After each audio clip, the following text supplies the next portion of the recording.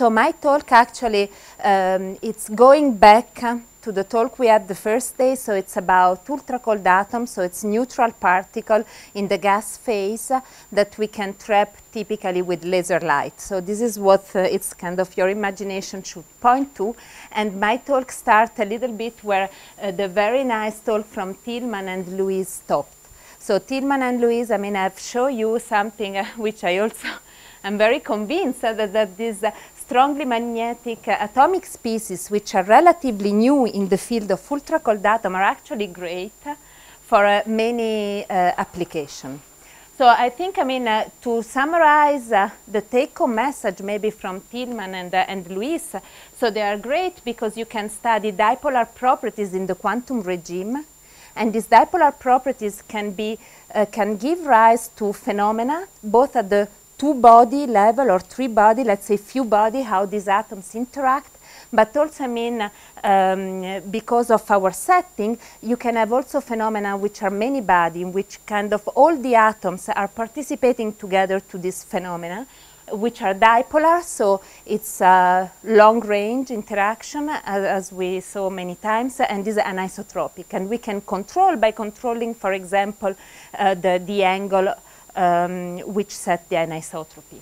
So another things which make this atom very special is that they are atom. So somehow in, uh, we learn uh, in the last 30 years, so the first Bose-Einstein condensate in, uh, in, in gas have been done almost uh, 30 years ago. And, uh, and we our community know very well all the technique to cool down this system. And so we can use now all this technique to go a step further and to try to, let's say, condense or study atomic species which are much more complex than the one originally considered. And then we have a, a, very nice control of the interaction between the particle. I mean, this is uh, what also Tilman and, and Louise told you. I mean, the interaction between the atom, the two-body interaction can be described by pseudopotential. The system is weakly interacting, so you have a type of mean field approach. You can calculate many things and actually very good and, um, and the interaction has one part which is a point-like interaction, very short range, coming from the van der Waals interaction. There is another part which is the dipole-dipole that comes from the fact that this specific class of atom is strongly magnetic. This is a little bit a summary, I mean, of uh, some very important properties of such atoms or atomic species that, uh, I mean, uh, in previous talk have been already uh, discussed. So, but then my question is, are we hiding something? So, because so far we said, okay, these atoms are really great and it's uh, easy, we can work with them, everything can be, um, let's say, modeled by mean field interaction and so but then you might ask, for example, if you look at these, the atomic species under study, erbium and dysprosium, which are, uh, so Tilman spoke about dysprosium and, uh, and uh, Louise about both of them. So you might kind of think about, but which are the atomic properties of this atom? Or for example, why do these atoms are so magnetic? What makes these atoms so special that we can see dipolar interaction. And since this is a school, I thought really to have a very tutorial, uh, let's say basic uh, summary of why these atoms are so magnetic, why they are so interesting, and how can we actually do quantum physics with them. So where the magnetism come from? Okay, so in the periodic table, uh, dysprosium and terbium are the most magnetic one. They are both come, and the erbium is also extremely magnetic, and they all belongs to a family which is called lanthanide. So it's on the back of the, the lower part of the periodic table. And so lanthanide are very special. They are known very well, I mean, in scattering physics, and they belongs to the so-called F block of the periodic table. So now I want to tell you that also these atoms are the last one to be Bose condensed in our community. Indeed, if we look from the first Bose-Einstein condensate up to today, that's how time and condensation proceed.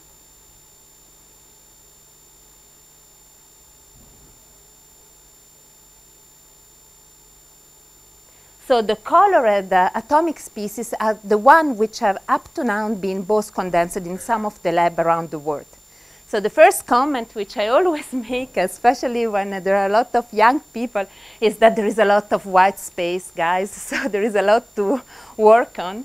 And the second uh, comment is that uh, um, there is a color code, you know, yellow, blue, red, and so on. What does color code stand for?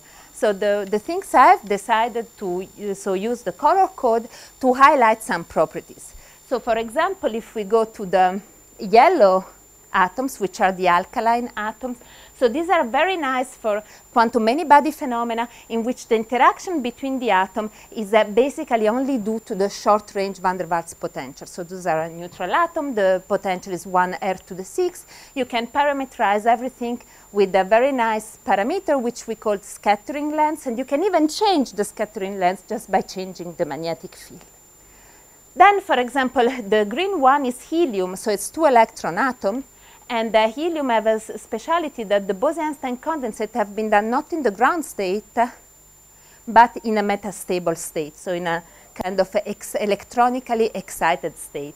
And then you have the blue one, which are, um, let's say, also two electron atom. I mean, and the ytterbium is be so belonging to this class because it's behaving like. And it's very nice because uh, in the ground state, all the quantum number are zero from an atomic point of view okay? So they can very uh, use it, I mean, to very precise clock transition just because the ground state is magnetic insensitive. And then you have the red one, which are these dipolar atom, and we will focus more in this dysprosium and erbium, and in particular in erbium. These atoms have very strong magnetic moment. So, and the speciality of this atom is the electronic configuration. So now I'm just speaking about atomic physics. So these atoms are multi-electron atom, they have several elect valence electrons. How do they fill the electronic shell? So let's say standard atomic physics. So, and you see that there is a core, as usual, a noble gas core, and, uh, and then they have a valence electron in two different shells. S shell, which is rounded, symmetric, okay, is the usual S shell you have in alkali, for example. And then there is an inner shell, which is this F. And this is very special because F is a highly anisotropic electronic shell. So if you have a core, the electrons in the F shell will move in a very anisotropic way. And because of this, all the quantum number involved for this atom are very, very high. And uh, indeed, if you compare uh, to alkali, uh, you see that it's very different because alkali have only one electron vacancy in the symmetric S shell. So as a consequence, when you have to change your mind from, let's say, single valence electron to multivalence electron atom, you know that the atomic spectrum is getting very complex with many lines. And this is the case for erbium and dysprosium. This is just an example. All these levels that you see here are electronically excited level, okay?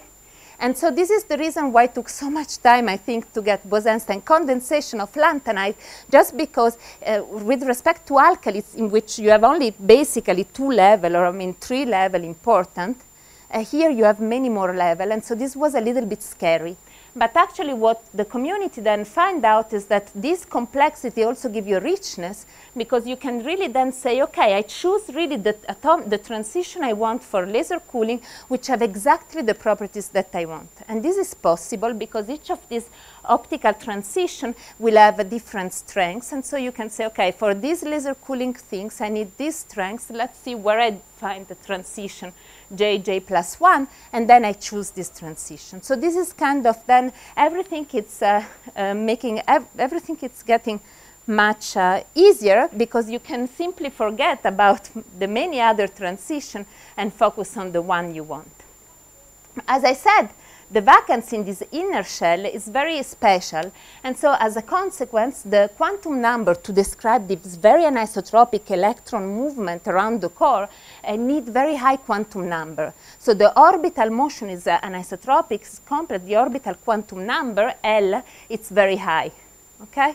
And so that means that in the ground state, they are not S state like alkali. Okay? They have some orbital anisotropy in the electronic ground state. And so because of the high quantum number, there is a lot of consequence. Because of this high quantum number, uh, when you think about the spin state uh, related to the ground state, so you see that you have a lot of different spin state in the ground state, and you can study spin physics. So the bosonic one relies a spin 6 system. If you look at the ground state of the fermionic atom, everything is even more complex because uh, the hyperfine state, because the fermions do have an hyperfine structure, so you have all this hyperfine level, and then if you apply a magnetic field around, you have all the Zeeman sublevel, and altogether it means that in the ground state, you have at least for erbium 104 uh, sublevel, okay? But because you're working at very low temperature with very high spectral resolution of your laser, so you can really selectively address one of these states in the way you want. Okay?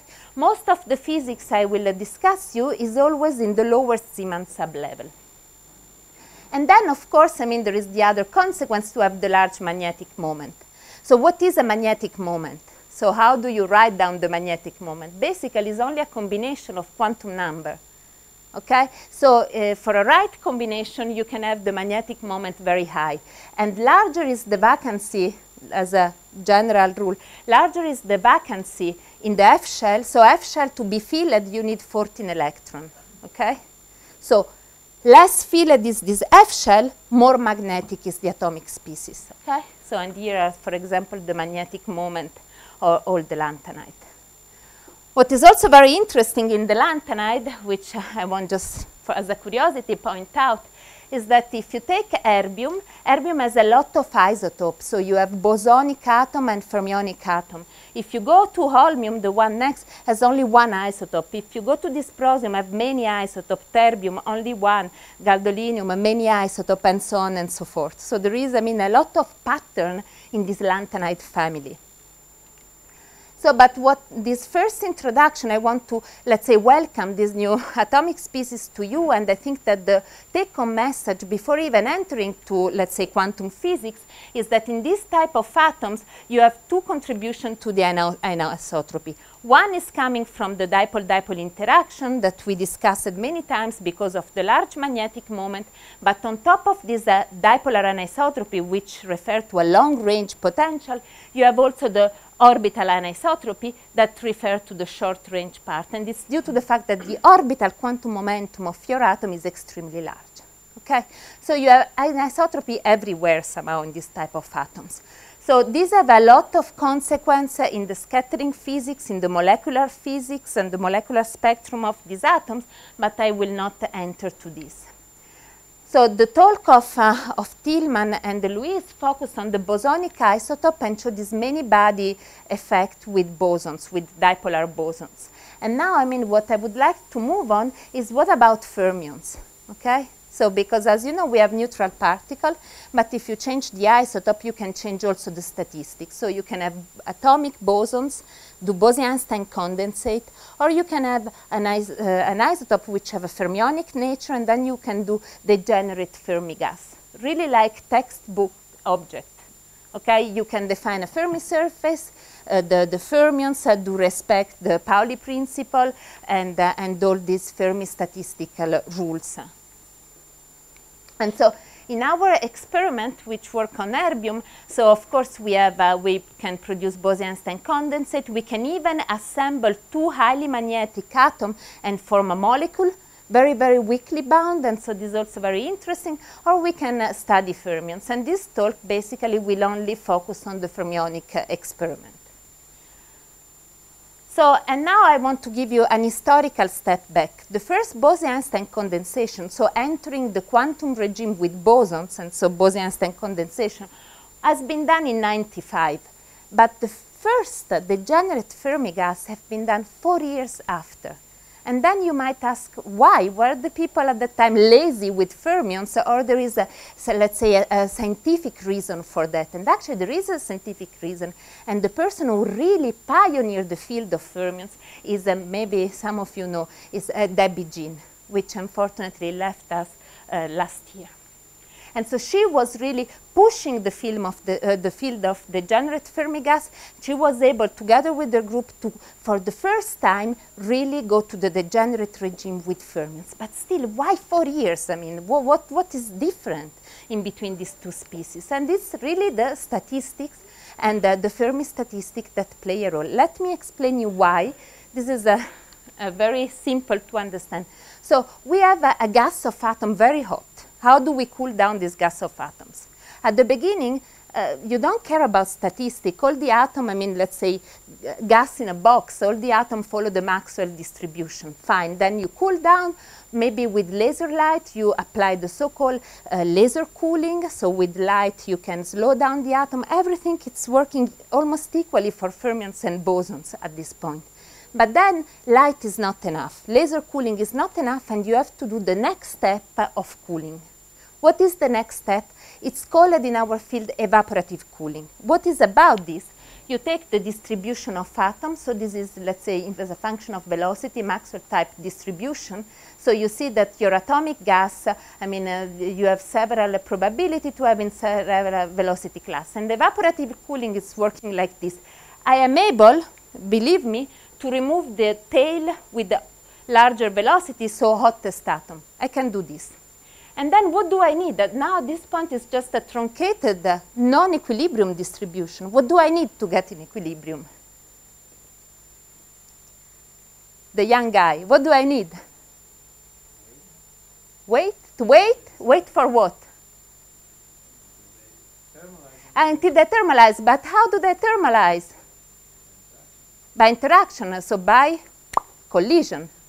That's true. And so then they will be able to rethermalize, and then you have a narrower distribution, and the temperature is given, let's say, you can, um, you can extract the temperature. But then what is crucial is if these atoms want or not to collide, so to thermalize, to collide, to have elastic collision, and bosons do want to do this, uh, and the parameters that tells you how willing are our atom to, to make elastic collision and so to thermalize is the cross-section, elastic cross-section. And now comes the very disappointing aspect. And the disappointing aspect is that the fermions have absolutely no willingness to, at all to thermalize because of statistics. Okay?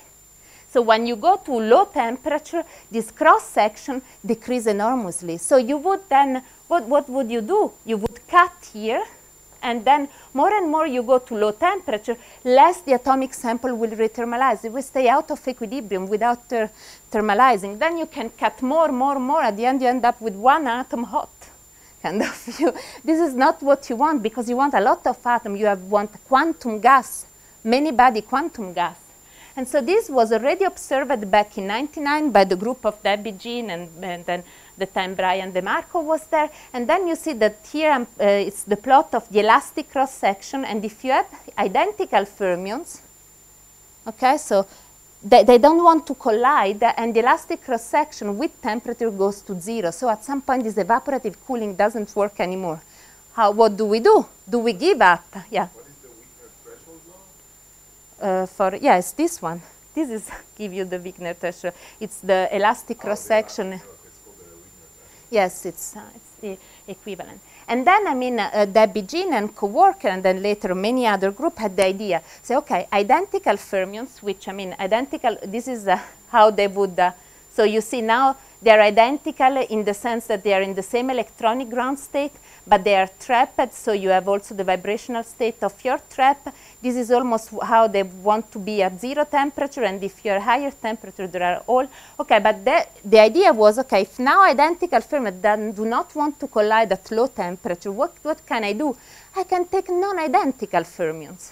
Okay, how do I make two identical fermions to become a pair of non-identical fermions? I change the state. For example, I take two different spin states. And now when I take these two different spin states, let's say Zeeman sublevel and the next one, to make an example, then the quantum number are different because the Zeeman level is different. And so they will nicely start to collide again. And you see that the cross-sectional in temperature is, uh, will uh, reach some constant value, finite, big enough to have evaporative cooling. And so then for this reason, for fermions, we don't speak about evaporative cooling, but we speak about sympathetic cooling. So these two non-identical fermions like each other a lot, and so they, via sympathy, so by the, their willingness to collide to each other, will rethermalize, and so this is the sympathetic cooling, okay? And you can do this by using two different spin states, or two different atomic species, or two different isotopes. And so, and this is, I mean, all the different fermionic species which have been produced uh, in the quantum degenerate regime, which are here listed, so they basically rely on sympathetic cooling. But now let's go, let's add dipole-dipole interaction. Okay, so what happens if I have dipole-dipole interaction? Like the key word is the one, I mean, that Ronan already did, uh, said, it's Wigner threshold law. Now, the, the, the, the, difference is that if you have fermions that collide with the short-range van der Waals potential, the usual one, let's say, then all what I said to you is true. The elastic cross-section goes to zero when the momentum, so decreasing temperature, goes to zero. But if now the interaction among the atom is not short range, but it's long range, the Wigner threshold law change, and you can demonstrate that, that in temperature it becomes constant with temperature. So suddenly I have a new, the dipole-dipole interaction reactivated the collision between identical fermions. Just because of dipole-dipole, I can now cool down identical fermions. This was not possible before. And so then mm, uh, theorists at JILA, like John Bohn and co-worker and some others, uh, have worked out really the formula for this elastic cross-section in case of dipolar interaction. And then they saw that there is a, a universal law Okay, so this is a constant. This is the, di the dipolar length that, that Tilman have introduced. Okay, so um, very different system which have the same mm, dipolar lengths would have the same elastic cross section. So this does not depend on the real detail of the uh, interaction properties. That's why it's universal. And so if you plug in this number for erbium and dysprosium, you see that the elastic cross-section is big enough to actually have efficient evaporative cooling in fermions. Okay, and the, so we have done this in our experiment, and there is related wor work in the dysprosium experiment by Benjamin Lefnitz at Stanford. And so and what we did was exactly to truncate the Boltzmann distribution of velocity and then wait, as uh, your colleague said. And that's exactly what we have done, exactly the same things we do with bosons. Uh, but boson likes to be together and fermions no. And so, and then you, you can see that you can very efficiently cool down the temperature. The temperature is related to the width of this uh, object. And then you can even compare how efficient is this direct evaporative cooling between fermions, which is the red, and the bosons. And you see, I mean, I don't want to enter in the detail because this is more for specialists. And so, and you see that the efficient of this evaporative cooling is the same for boson and fermions. So we finally have this way uh, to get the, the system um, identical fermion to collide. And of course, that means also the many body level, there is dipolar interaction between identical fermions. And then we said, okay, very, very nice. Now let's uh, prove that this universal law is really valid. I mean, this formula that I gave it to you. And so you can, what you can do in our experiment, this is the universal law, and this is the value predicted by this uh, dipolar threshold law. And so what you can do in our experiment, don't look at this graph, maybe it's too complicated.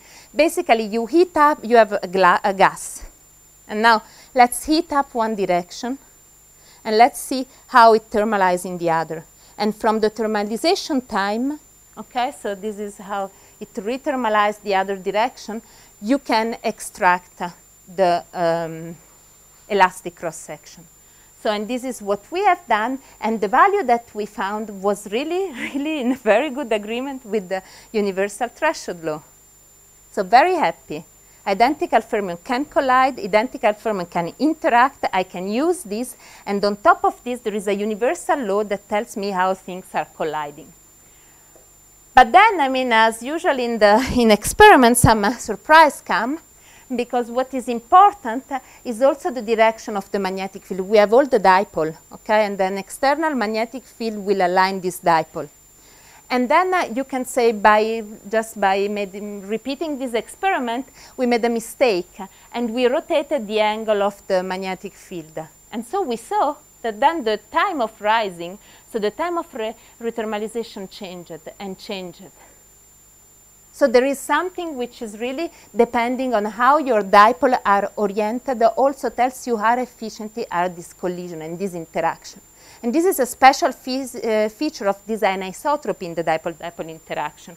And so we studied then this together with Debbie Jin and John Bohn. And so, and the, the number of collisions that, so let's say, I don't want to enter in this detail, but the idea is uh, how, do, how efficient is the rethermalization depend on the angle. And this is the theory that they have done for us, and those are the experiment. Okay, and we see, I mean, this is a theory without any fitting parameter. We see very good uh, agreement. Uh, indeed, uh, the anisotropy of the interaction also brings you anisotropy, of course, of, of the way they collide. And so with this, uh, this is the first step, because in this way we could create a fermionic sample, very cold, of identical fermions, and also extremely dense. For the same parameters of bosonic Bose-Einstein condensate, the density of the fermions is also even higher. Okay? So it's really behaving uh, very well. And now the next step in this um, is uh, to say, okay, all this I told you so far is a few body physics, like how these two atoms collide. Now I want to make another step and go to many body physics.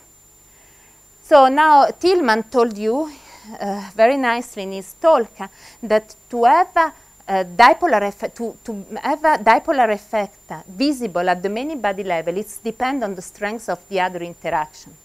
So Tilman told you that in the case of bosons, you have to compare the strength of the dipolar interaction with the strength of the short-range interaction. Okay? You can make one very small, and so to increase this ratio. When you have fermions, with what do you have to compare? There is no short-range interaction. There is only dipolar interaction. When do a fermionic gas is a dipolar, we have a, a dominant dipolar character. And there you end up with one problem, and this that um, in the case of many body physics with fermions, you have to compare the dipolar interaction with the Fermi energy. What is the Fermi energy in a system? Is the kinetic energy. And fermions, since they fill up all the Fermi uh, surface, they have a lot of kinetic energy. Okay?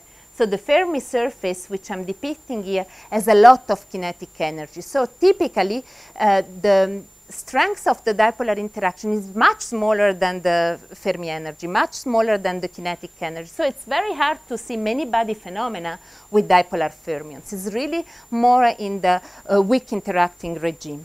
But nevertheless, let's see what we would expect if we have a strong enough many body interaction. So the first things uh, that we would uh, expect, let me, is uh, that the dipole-dipole interaction would uh, change the shape of your Fermi surface. So in all electron, it's very crucial how it is the shape of the Fermi surface. And now you can modify the shape of the Fermi surface, you know that the fermions are filled up until the Fermi momentum. You can change this, uh, for example, with the lattice okay, so with the underlying structure you have in your system. But uh, if you have dipole-dipole interaction, what you get is that since the dipole-dipole interaction, it is anisotropic, the Fermi surface itself, uh, which is really, a, uh, let's say, a basic properties of the system can get deformed, just due by the interaction. And that this is just true in fermions because it's coming from the exchange interaction between fermions. Okay? And so, and once you have uh, this, uh, uh, let's say, deformed or anisotropic Fermi surface, and you think about superconductivity, BCS coupling, so you immediately uh, understand that to enter in the superconductivity regime in the BCS temperature, it's different depending on which direction you would take. So you can start to study I mean, uh, um, many body phenomena like a BCS state in presence of anisotropy. Okay? And also it's very interesting to see that all the excitation will uh, then have a momentum dependence because of this anisotropy. And so in our case, we wanted to explore this, uh, and we knew that uh, if at all we see a deformation, this will be small, let's say, because of the Fermi energy being very high.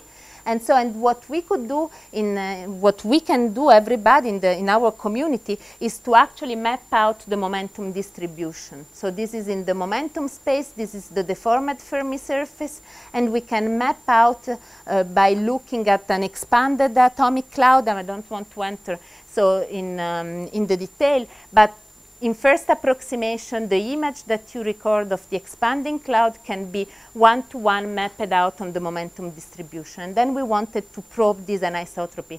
And actually, this is what we, we observed, that the, in momentum space, uh, the surface, the Fermi surface is deformed. because here it's the ratio between the uh, horizontal to vertical radius. So one would be a spherical Fermi surface, but then when you um, deform in one direction or in the other, you see that it's not anymore spherical. And you can control very precise in the experiment, I mean, how the deformation process. And of course, uh, this is a, a quantum effect, uh, many body quantum effect. If you now increase the temperature, this effect should vanish. And this is, this is the degree of deformation. And so which I'm plotting as a function of temperature, we, when I'm not anymore in the degenerate regime, so I'm leaving the Fermi statistic in some, or I mean, I'm not deeply in the Fermi statistic, I see that this deformation wash out. Exactly as you would uh, imagine. And uh, yes. So, and indeed, that would be very interesting to think if uh, also another system like uh, in exciton and so with dipole-dipole interaction, the Fermi surface uh, would get the deformation. And in this case, maybe larger because of the larger energy. And you can, uh, by changing the ratio that was density of the um, density multiplied by the dipole moment squared divided by the Fermi energy, which is this eta parameter. Sorry, I forgot to put here the, the value by doing this, I can actually change the degree of deformation. So I think that this is a very uh, nice proof of principle experiment that I see I can modify the momentum distribution. Uh, but of course, you have also to notice that the deformation is not very large. Okay?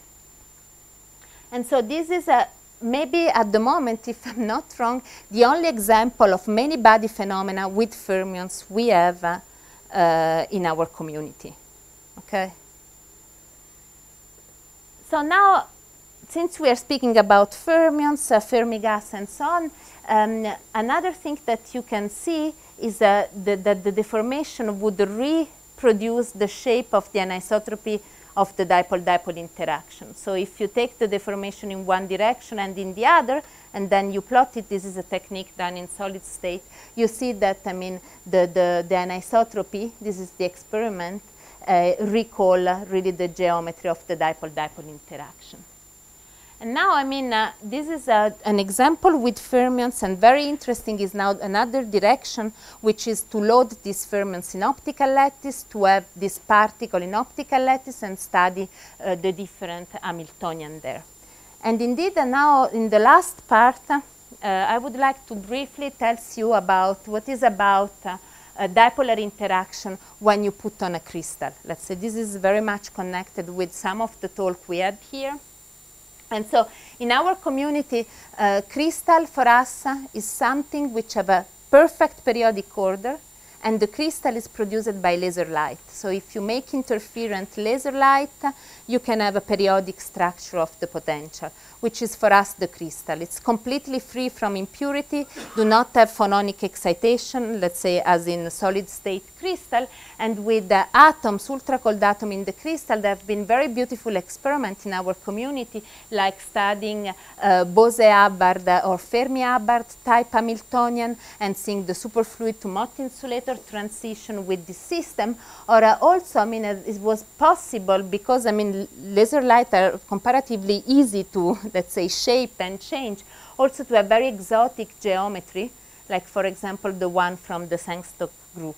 I mean, like this type of geometry, or it's possible instead of putting in the lattice only one spin to have several spin components, or it's possible also to add some disorder in the lattice. So all these type of things, uh, it's uh, something that in our community have been achieved, and all these experiments rely on the dipole, di on the on the short range contact interaction. And now what we want to do is to kind of go along this line, but instead of having the short range, we want to have a dipolar interaction. This is uh, very interesting. So we have produced this type of three-dimensional lattice, let's say really three-dimensional crystal uh, with laser light in which we have in each lattice side only one atom, one dipole.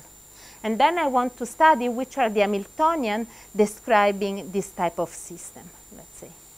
And now, because you have dipole-dipole interaction, you can imagine that if you have two atoms in the same lattice site, they would also interact by a dipole-dipole interaction, but more importantly, differently from the uh, point-like short-range interaction. Now the dipole-dipole, it's long-range, so that means that also atoms in different lattice sites would be able to interact. And not only two of them, but all of them. Okay? So you are kind of via the interaction, very similar kind of to ion, means string of ion. Now you have atom in the neutral atom in the acid that have off-site interaction. This off-site interaction is called nearest neighbor interaction, dipolar nearest neighbor interaction. Okay? And so now I don't want to enter into detail, but by adding this type of interaction, the phase diagram of uh, atoms in a crystalline structure or particle in a crystalline structure change enormously. You can have ground state with some pattern. Let's say you can have stripe phase, or you can have antiferromagnetic state, or you can have checkerboard state. All um, and, and other exotic phases in how I mean the atom align. And so if you write down the Hamiltonian, this is the Hamiltonian that you get is a type of, a, mm, so in this case I'm considering boson, so it's a Bose-Hubbard Hamiltonian, but now it's extended by the fact that you have off-site interaction. So the first term is governing the tunneling of atom from one well to another well. The second term, uh, so it's uh, this one and this uh, uh, governing the interaction of two atoms in one single lattice side. And then you have the nearest neighbor, as I told you, so interaction between atoms in the different lattice side. And uh, yes. And as you can see here, there is an angle depend. So this offsite depend only on the dipole-dipole because it's the only one long range which connect atom really seated in different lattice side.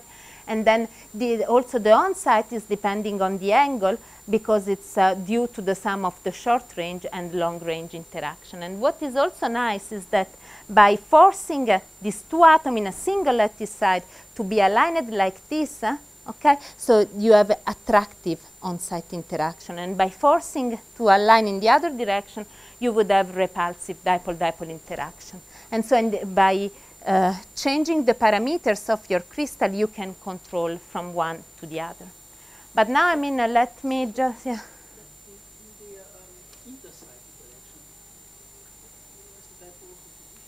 It's only dipolar contribute. This Vij is the dipolar energy.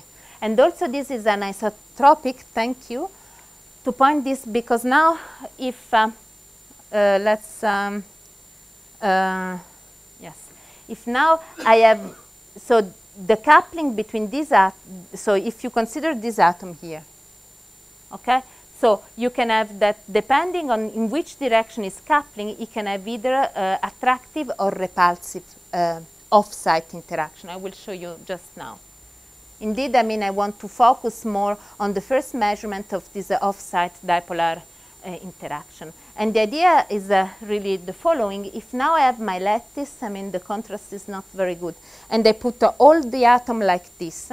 Now, the atoms which are aligned along this line, these two, this one will, do, will, uh, will have um, attractive interaction. And this one will have repulsive interaction. So the red is repulsive and this is attractive. So that means if I remove, uh, I mean, uh, or one atom here, uh, this will uh, change uh, the excitation spectrum. So I will show you here. If now I, I, remove an atom from here to here and I do a double occupied site in this direction or in this direction, then the energy, there is an energy difference between these two configurations. Depending on how do I drive the system, and this is what we can control in the experiment. And this energy difference exactly give you the nearest neighbor interaction.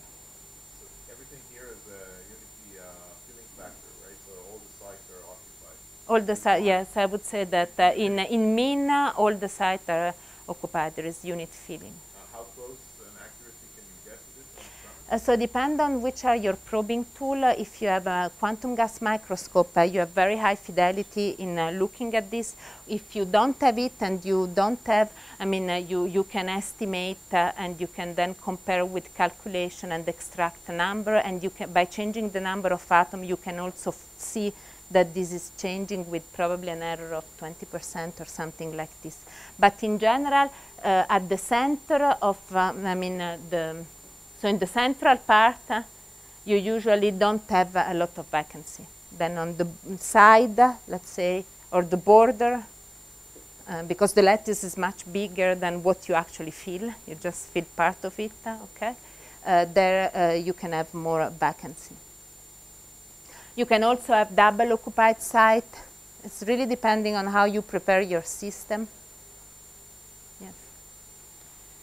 And so now what, what actually, yes, we have done uh, is then to measure the energy difference between these two configurations by breaking bound of attraction or breaking bound of repulsion because this corresponds to different energy. And from this uh, we could extract actually the values of the nearest neighbor interaction. Of course, it depends on the spacing of your lattice. If to put a much short spacing lattice, this interaction become uh, uh, higher. And there was a very good agreement uh, with the experiment and the theory. So all this now, I mean, uh, I'm kind of ended with my presentation, and this is uh, was about giving you some example of physics you can do with the, with the uh, dipolar atom in the crystal and some example of what you can do with Fermi gas. And this is uh, the team in Innsbruck actually doing this uh, experiment. And now we have also a second experiment, which is a erbium dysprosium mixture. And uh, Max is here in the audience. And we just very recently achieved the situation to have a mixture of erbium and dysprosium atoms. So the first mixture combining two different highly magnetic atoms. We have magneto-optically trapped these atoms, and the magneto-optical trap is working very nicely. And, uh, and so with this, I would like to, to thank you.